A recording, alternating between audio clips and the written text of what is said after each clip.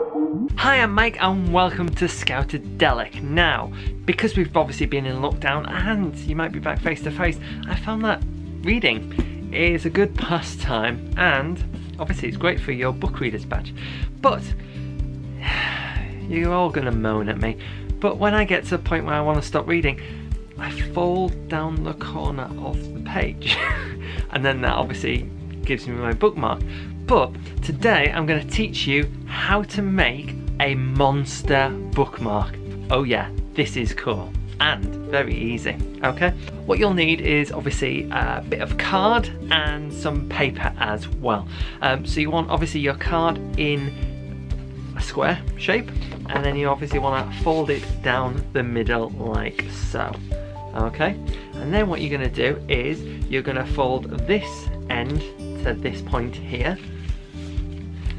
Like so and the same with the other side as well. And just make sure that obviously you're folding down those creases there. Okay.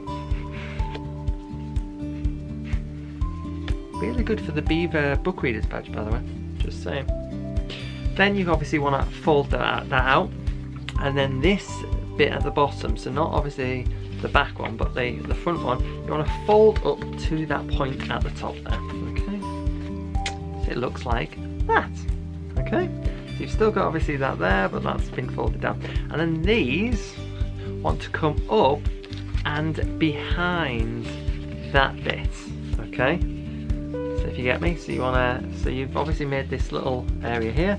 So this wants to come up and then fold down here, and the same with the other side as well.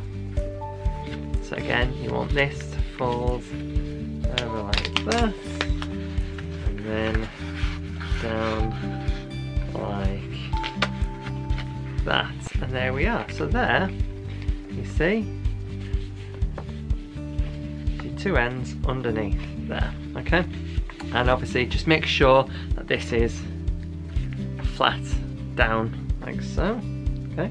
Then what you want is a bit of white paper and you want to cut out two circles and you want to obviously draw some dots because those are going to be your eyes and they want to go on here okay?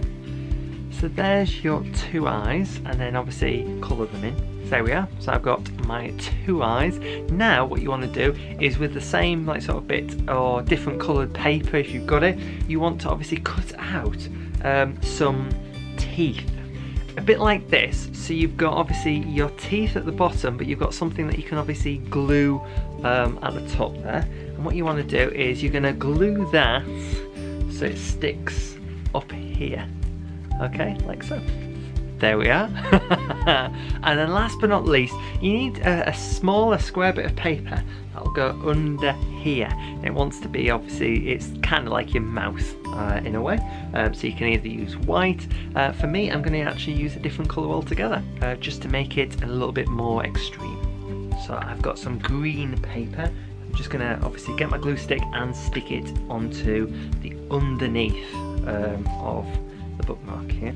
And there we go. There is your bookmark. There is your book. And then obviously once you've finished say reading a certain page you just simply put this in the corner like that. And there we are. Book closed. And you know exactly where you're going to be reading from. There we go so that's how to make a monster bookmark if you've liked this, then don't forget to obviously give it a like and also share it around. It's really good for book reader badges, may I point out. And if you haven't already, scroll down and check. If there's a little red button that says subscribe, click it. Go on. We are trying to get January to be the best month ever for new subscribers. And we've got tons of stuff both past and coming up in the future. So hopefully I'll see you again soon for another one like this. Um, Bye!